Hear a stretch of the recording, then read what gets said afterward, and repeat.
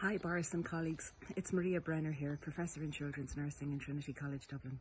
On behalf of my colleagues, congratulations as you celebrate the 10th anniversary of your wonderful paediatric palliative care unit.